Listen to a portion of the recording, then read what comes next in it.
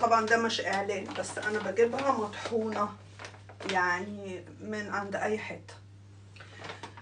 حطيت منها أنا في البرطمانات بتاعتي وفي عندي لسه في الكيس. تقدري إن أنت لو عايزة تحفظيها لمدة طويلة تقفليها وتحكميها قوي وتشيليها في الفريزر عشان ما تسوستي لو هتجيبي منها كمية. ده بيكون شكلها. بودرة. الكمية اللي مطلوب منك على حسب وزنك. يعني لو عندك مسائل آه، ورا ومسائل قدام كتير ده هينزل المسائل بسرعة. خلاص؟ الملعقة الواحدة من دي تحطيها في برطمان. وهوريكي حالا.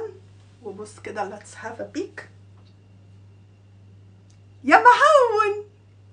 خمسة وتسعين ألف. يلا! يلا بذور القاطونية يا بنات هيا بنا نبدأ في بذور القاطونية. yes حاول بس أفتكر حاجاتي. عشان في حاجات كمان ناقصة في بيتي. المفروض إن أنا أنزل أعمل shopping بس لسه ما أقدرش أخرج الشارع now and أدوخ. أوكي هنقول بسم الله الرحمن الرحيم. هنبتدي. هنا قدامكم كده على الكرسي العتيق بتاع أبي من سنين ده والركناية العتيقة بتاعت أبي دي اللي لسه ما فوقتلهاش. أنتوا عارفين الأيام دي أنا بفوق للمطبخ عشان كريسماس بس anyway أما اخف هعمله. هاخد ملعقة ممسوحة. ملعقة واحدة ممسوحة. تقدري تدبلي وتدبلي مية. أوكي؟ هحطها هنا. تمام؟ وهحط عليها ممكن على حسب. لو عاوزة تغيري طعمها لو عاوزة انتي تغيري طعمها تقدري تستعملي ماء الزهر. على فكرة لو شربتي ماء الزهر بيخلي وشك ينور من جوه قبل بره. أما انتي يا كئيبة يا بنت الورمة هتفضلي زي ما انتي كئيبة. ومراخيرك قد كده وخدودك قد كده وصدرك قد كده ومؤخراتك تضحكي وتقولي يا ش- ولا كلمة ولا كلمة. هفوق عليها. هتتنالي هتحطي على الملعقة بتاعت البودرة القاطونية بودرة القاطونية بالقاف. هتحطي عليها بما يعادل نص كوباية مية أو نص كوباية ماء ورد أو نص ونص. لو عندك يعني الحياة غالية وده غالي أنا هريحك أنا هريحك. نص ونص يلا. ولا تزعل. عشان أعمل طعم حلو ليها يعني. فاهمة؟ مية عادية. أوكي؟ نص مية ونص ماء زهر أو ماء ورد. يا؟ زي ما بعمل. وهنزل بنص مية. أهي نص كوباية. على ملعقه تقدري تعملي مية دافية تقدري تعملي مية ساقعة. السحر بقى فين؟ السحر هنا في المادة بتاعه بذور القاطونية. مادة لازجه كل لما بتقعد كل لما بتتخن. يعني إيه؟ يعني مثلا هنقول دلوقتي أنا حطيت معلقة واحدة بس. أهي أمامك. بصي التخانة بتاعته عامل زي المهلبية اللي بتتقل. وريحته موارد حلوة قوي. والمية وهي باردة بتخليه ما يكلكعش منك. والمية وهي دافية بتخليه يتخن قوي زي ما شفتي في الأخ ده. ده الخزين بتاعي. ده هو ده. بس ده بعد لما بخزنه واخد منه علشان طول اليوم يعني. كورة كورتين ثلاثة أنا عاملة هنا ثلاث كوبايات هو ده هو ده. بذور القطنية بعد لما بتقعد 12 ساعة أو من بالليل للصبح. هو ده. أهو. أهو. المادة الجيلاتينية دي اللي أمام الكاميرا دي هي دي المفتاح عشان تخسي. شفرة الورمة من الأزلز أيوة. أي هي دي هي دي. ما علينا. أنا غاسلة إيدي كويس جدا ومعقمة إيدي. وبعدين بحطها في الثلاجه عليكي وعلى أمك يا أختي. يس وهنا بعد لما رغيت معاكم وسبتها اتحولت أمامك بمية ساقعة عادية وماء زهر. اتحولت لإيه؟ لجيلاتين ساحر رهيب جبار. أهو. معلقة واحدة بس على نص كوباية مية. بمنتهى البساطة والسهولة تقدري تخسي. ولو حسيتي إن هي عايزة مية اديها مية. كل ما تديها مية كل ما بتعلى. كل ده من ملعقة يا أبي. آه شفتي؟ دورت لك على أرخص حاجة تخسسك.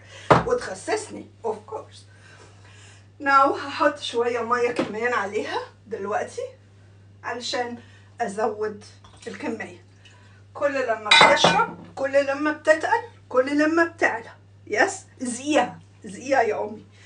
now الجيلاتين اللي جوه ده من أكتر الأنواع اللي إلى الآن إلى الآن ما فيهاش أعراض جانبية.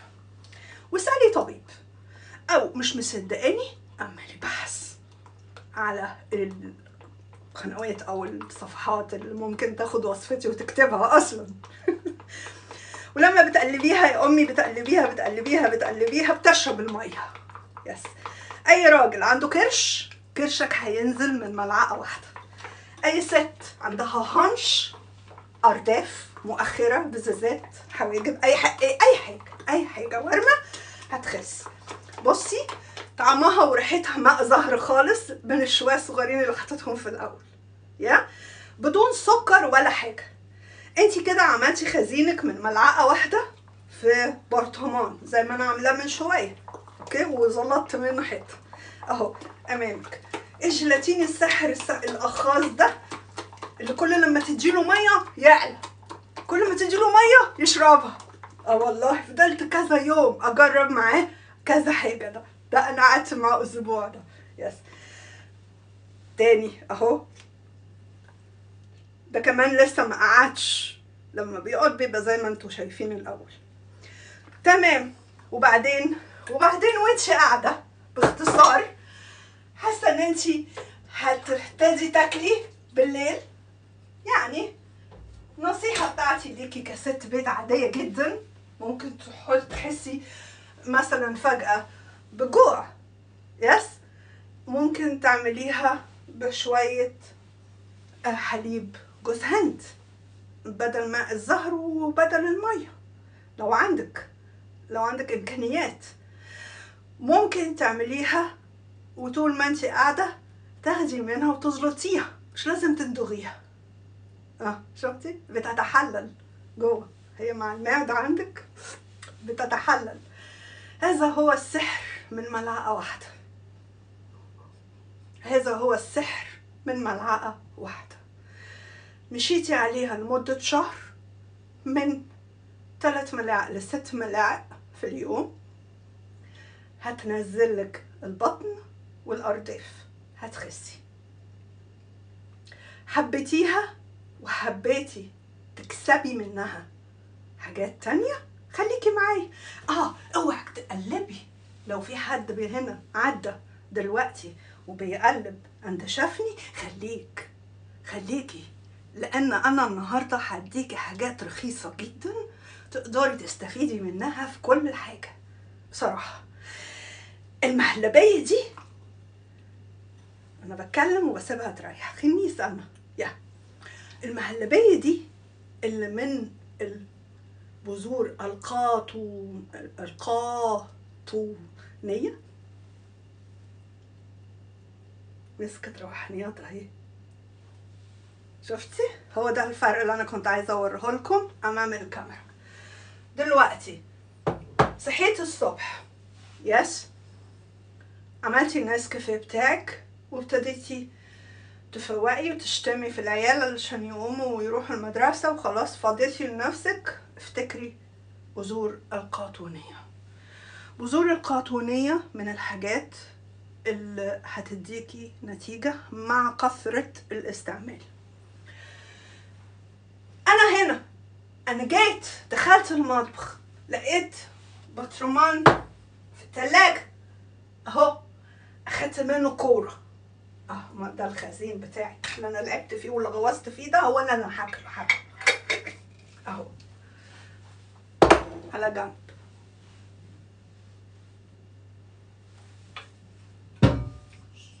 عدينا ال ألف؟ كأنه بقى. كأنه هنا بقى. هتذلنا أنا حر. يا أنا حرة. هاتي بتاعت الكلب. هي دي. مش عايزين فرقعة النهاردة ولا طرطشة بسم الله الرحمن الرحيم. هاخد منها حبة من الخزين بتاعي. أهو. كورة حلوة كبيرة محترمة أهي. في بولة بتشتغل بإيديها يا أنا اللي هحطها مش انت انت اعملي بمعلقة ولا يهمك. خدي معلقتين ثلاثة. ولا يهمك. بذور القاطونية. نبتدي ونقول بسم الله يا هادي. بسم الله الرحمن الرحيم على حبايبي واخواتي. ونبتدي نجيب الصبارة بتاعتي اللي كنت سايباها تنزل السم بتاعها. إذا مش متاح تقدري تستعملي الصبار الجل العادي. ولا أقول لكم؟ يا. اخد منها حتة. أنا كنت هستعمل التاني بس أنا عايزة حتة من دي عشان تبقى حلوة. الصبار مادة مائية ودي بتشرب مية. ركزوا معايا علشان الشغل ده فعلا أنا عملته وجاب معايا نتيجة. الصبار ده الماسة البيضاء أو اللؤلؤ الأبيض الصبار ده مادة مائية. وبذور القطينه انه القاطونية لما بتاخد المية بتعلى وبتتحول لحاجات كتير. هنحول العفريت ده دلوقتي جلا جلا وناخد جل الصبار المتاح أجزخانة أو فريش. إذا كان للشعر أتمنى إن أنتي تعمليها فريش. إذا كان للبشرة ممكن البديل لو حبيتي. بمنتهى البساطة ازرعي صبارة وحطيها في البلكونة أو في التراس بتاع بيتك. حتة بمقام صباعين. اهي. okay؟ تمام؟ قطعيها حتت نونو وانزلي بيها فوق بذور القاطونية بالظبط كده. صباعين. وابتدي قولي لصاحبتك ولاختك والبت عمك إن إحنا بنعمل حاجة للتخسيس. وحاجة تانية هنعملها للبشرة. وفي حاجات تانية مهمة برضو للبشرة. من معلقة واحدة بس من بذور القاطونية هنضرب نار. طلعي المدفعية. يا؟ ما عندكيش في الكب. ما تطلقيش. يا؟ واضربي. مكوناتك المائية مع بعضياتها مع معلقة واحدة بس. ده إحنا ما حصلناش ربع معلقة في الحلقة دي. اضربي. نعمي. اتنين فطاحل في البولة دي. من أرخص ما يكون. لكن أغنى فيتامينز وأعلى تغذية للخطوط التعبيرية في البشرة.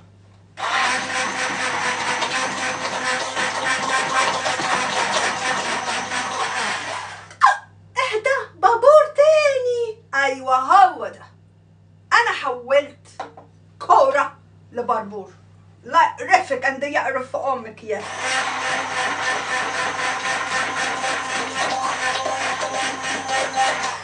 بس خلاص. الباربور مادة ساحرة. طلعت أمامكم دلوقتي من بذور القاطونية. هي أمامكم. ها هي. ها هي. ها هي لغة عربية. ها هي أمامكم. بتعملي إيه يا أبي؟ هطلع ماسك ما حصلش. ما يكلفش حد حاجة ويديني نتيجة جبارة. أيوه تعالي تروحيش لحد. قلبيهم كويس قوي مع بعضياتهم. عشان تتاكدي ان الصبار بتاعك. اندمج and باس باس ولغوص مع القاطونيه دي. يا لوك لما بنقلبه. شايفة؟ ده مش بذور كتان دي بذور القاطونية بربور جديد بس لونه أبيض. يس. ولا كلمة.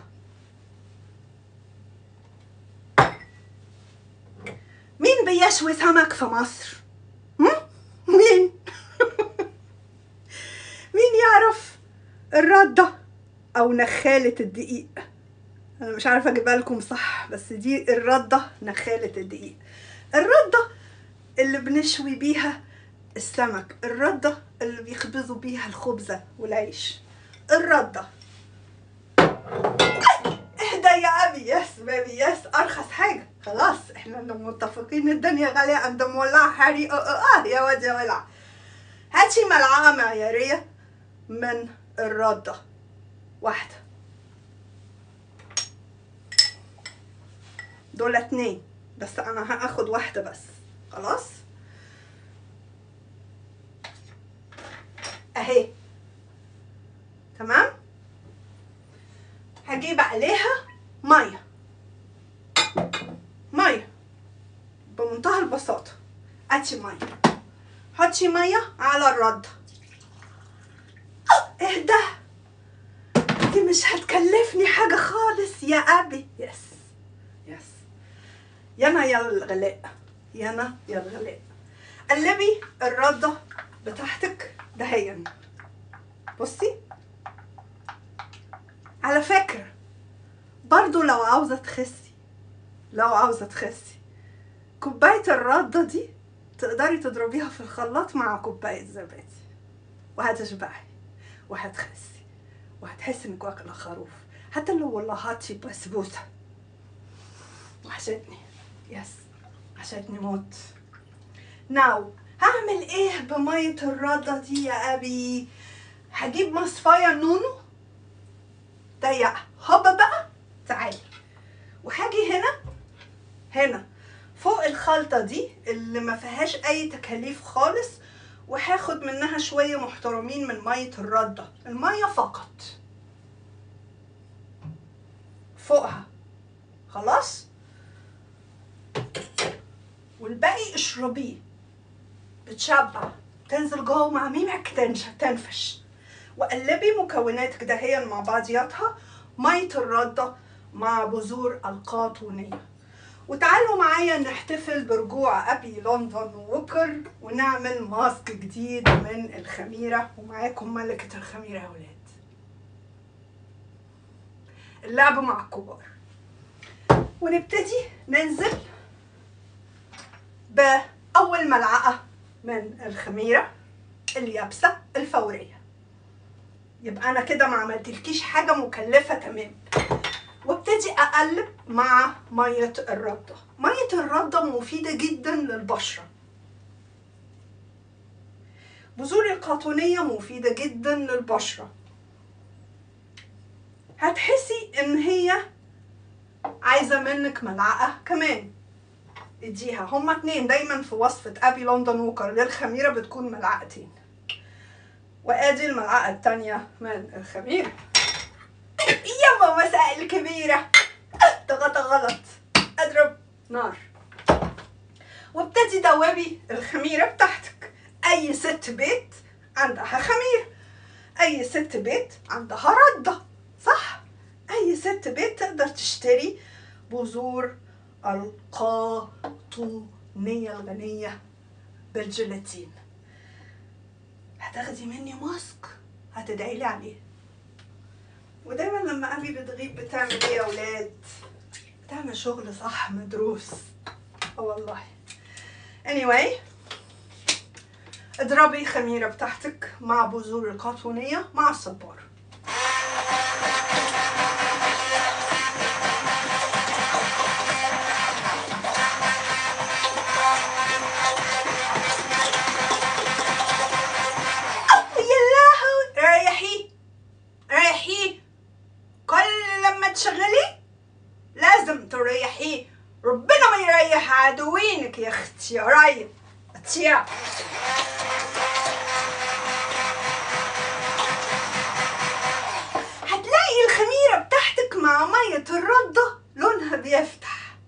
بيفتح إحنا هنخبز على وشنا. آه انتي مالك؟ انتي مالك انتي؟ أنا قاعدة اكل وشي بقالي أسبوع ولقيته حلو. الله؟ أنا أقول لصحابي. شغالين.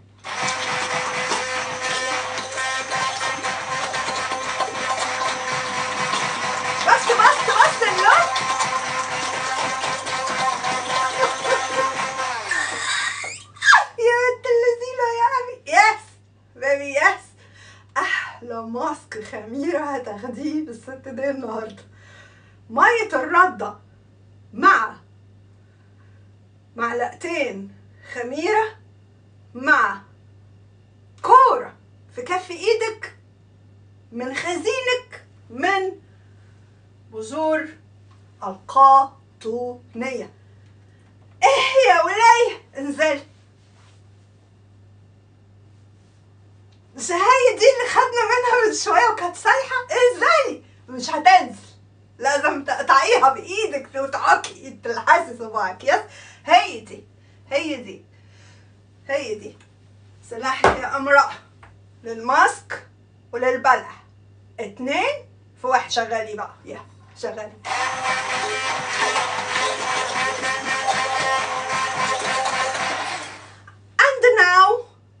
أنت محتاجاه يا أبي. محتاجة المادة الزيتوتية المتاحة. مش مشكلة لكن أساسية. لأن الخميرة بتديكي نفخ للخطوط التعبيرية غنية بالزنك. مع مية الردة هتعمل لك جفاف يا عفاف في البشرة. فلازم تعملي حسابك إن أنت تكون عندك نقطتين. كبسولة فيتامين اي مثلا كبسولتين على الكمية للرقبة والوجه. يس الجيلاتين اللي بيخرج من بذور القاطونية هيشد. والله. زي ما يكون حد شدك أبي. بصي. شايفة؟ ماسك الخميرة الجديد. بذور القاطونية مع مية الردة مع ملعقتين فقط لا غير من الخميرة. كمية على حسب مزاجك. أنا بوريكي في الفيديو لسبب مهم جدا. عشان انتي لما بتشاهديني بتفهمي التغيير في الحالة الأولانية والحالة التانية. في ناس ملهاش تقطع نقول لها اطلعي بره. مش عايز تتعلمي الصح أنت حر روحي اشتري جاهز. آه بس أنا عايش على اللي زيك. بصي كده ادماجي. ماسك الخميرة. الجديد السهل البسيط اللي تقدري تعملي منه كل اللي انت محتاجاه. تقليل التجاعيد تفتيح البشرة ترطيب البشرة. نضارة من بذور القطنية. حقيقي بجد هتلاقي نتيجة حلوة قوي. هتحتاجي كبسولتين على كمية الوش والرقبة من فيتامين اي غزوا عند ريحوا فيتامين إ اتنين تلاتة على مزاجك. مفيش؟ ما تطلقيش. تقدري تستعملي نقطتين زيت زيتون. يس مفيش؟ ما تطلقيش. تقدري تحطي نقطة زيت جوز هند. مفيش؟ ما تطلقيش. تقدري تحطي زيت السمسم. زيت السمسم. للبشرة نقطتين تلاتة فوق الوصفاية هقرب للكام وهوريكي زيت السمسم بتاعي والنقطتين اهم امامك. مش كتير مش كتير. عايزة تخليه غني وريتش وفعال؟ عليكي وعلى أ إي فيتامين. كبسولة غزو عند ريحوا فيتامين اي كده كده انت عملتي إيه بقى دلوقتي انت عملتي المواد المطلوبة منك حاليا اللي هي بس صبار أساسا بيشد البشرة وبيعالج الحبوب اللي هي أصلا أصلا الخميرة الغنية بالزنك ادي ماسك الخميرة السهل الرخيص الجديد اللي زي أي ست بيت بحاول إن أنا أشوف المكونات بتاعتي بالشكل ده. دلوقتي هتطلعي جوزك من الدولاب وتاخدي منه ملعقة كبيرة من النشا وتلمي كلهم مع بعضياتهم النشا هيساعد الصبار في إنه يفرد ويشد. طلعي جوزك من الدولاب؟ وخذي منه ملعقة معيارية كبيرة ومزلقطة من النشا وقلبي ماسكك بالنشا أي ماسك بتاخديه مني تأكدي إن فار التجارب هنا كان قاعد يجرب فيه والله. okay. قلبيهم لحد لما تحسي إن النشا تجانس واختفى تماما. اندلع التاني you know يا على شكلك. قالوا لها قالوا لها ان أنا جيت. قبل أشيلك. كنت مرتاحة منك. مش مشكلة أبيض أبيض نشا أبيض وفرو أمم. قلبي النشا بتاعك. مع باقي مكوناتك. يوضع هذا الماسك في التو واللحظة.